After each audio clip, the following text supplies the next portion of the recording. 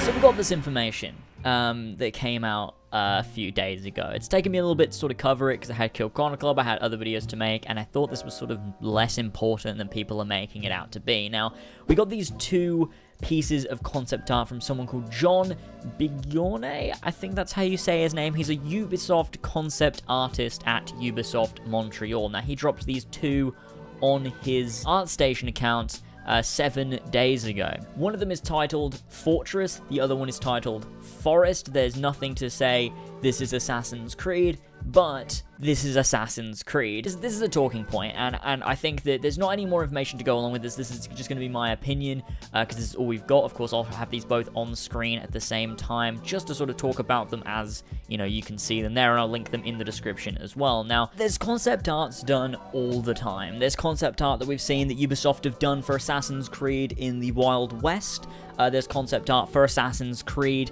that was done to uh, show things we've seen, like uh, Renaissance Italy, and there's also been ones, again, like that we haven't seen, like World War II just because someone has concepted something in art doesn't mean we're getting a game set there. It doesn't mean we're not either, but just these being released, people have sort of lost their shit and been like, oh my god, the next game is going to be set in Japan and whatever, and that's not necessarily the case at all because, you know, Ubisoft concepts things all the time. All the time. Like, you, the amount of concept art we've seen for Origins is probably not even scratching the surface to how much concept art they did for this game before they even started making it. I'd bet that this game wasn't even possibly, you know, it, even before it was confirmed to be set in Egypt, they were like, okay, so what time periods can we do? Let's concept things. Let's concept Japan. Let's concept Rome. Let's concept Egypt. And they came to, oh, well, we're going to do Egypt because that works the best. Now, these other ideas, like possibly Japan, whenever this was made, we don't even know when this was made. There's nothing to it other than the fact that it was posted at this date. And you've got to remember that around the same time as well, he actually posted some concept art of Italy from Assassin's Creed 2. And we know that that's not the next game either, so why is everyone losing this shit specifically over this one?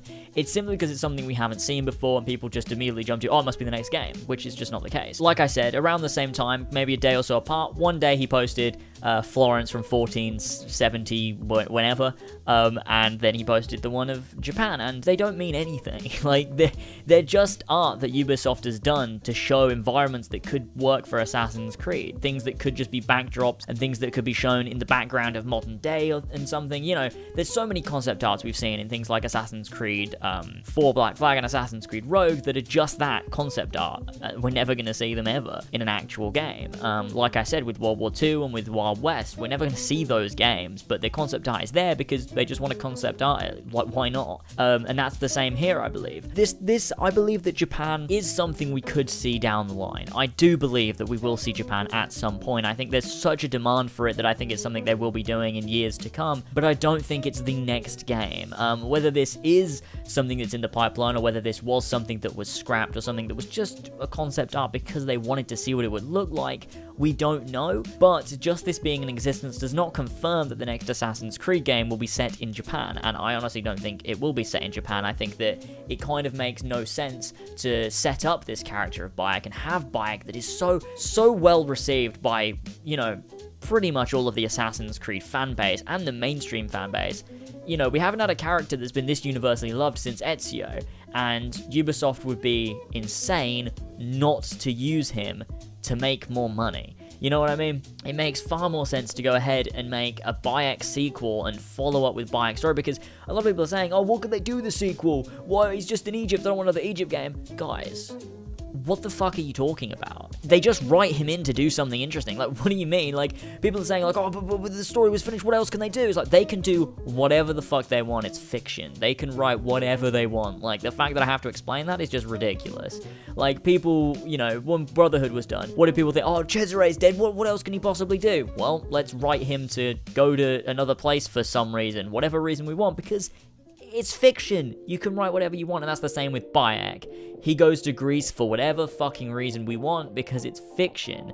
So they'll just write in a really cool reason for him to leave Egypt, a really cool reason for him to have another goal to achieve, the same way they did with Ezio. It's not difficult to write a sequel to something, you know what I mean? In, in, in, in most cases, it's somewhat easier to write a sequel to a well-received character because that story is also peddling like off that character. So like with Brotherhood, the story I think is one of the strongest in the franchise, of course, but it's not as good and as story driven as two was, and that and but but it's still loved by the by the by the fans because it's following Ezio again, and we love Ezio.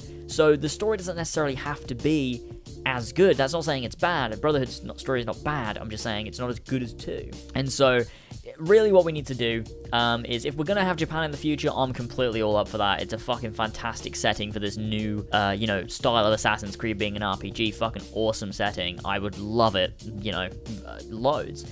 But let's have a sequel with Bayek. That's what we need to work on next. A sequel with Bayek because let's be honest, that's the best way to go. And a lot of people are gonna, you know, say a lot of different things because they're fucking dumb.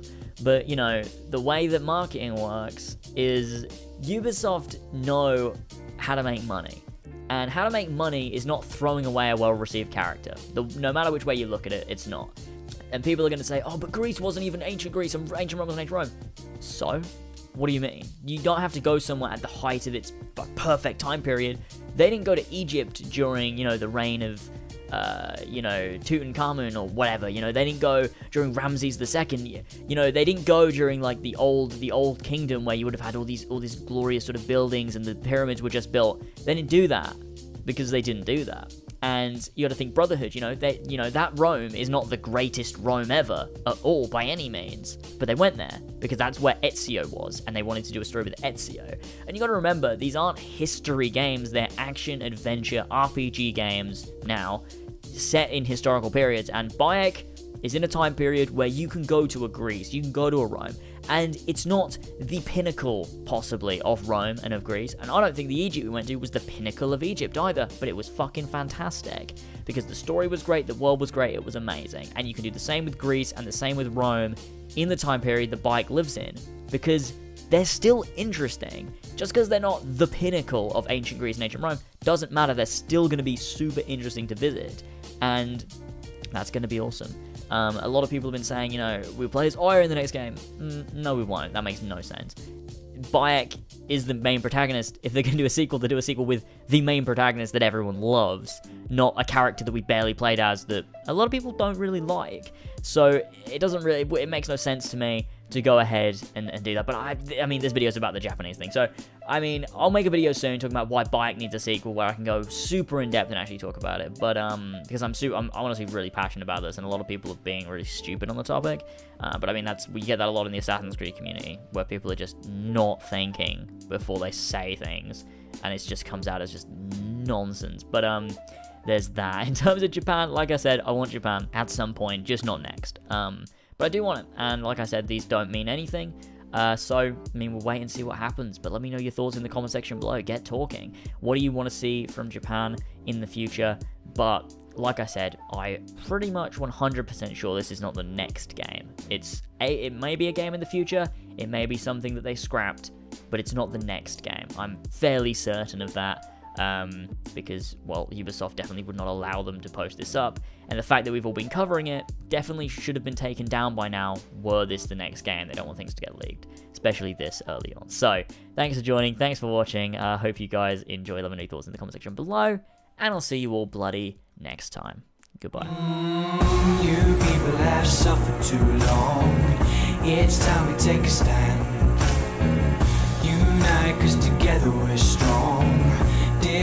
Take my hand I'm hearing whispers on the wind Born from the shadows, origins Are these the flames I see?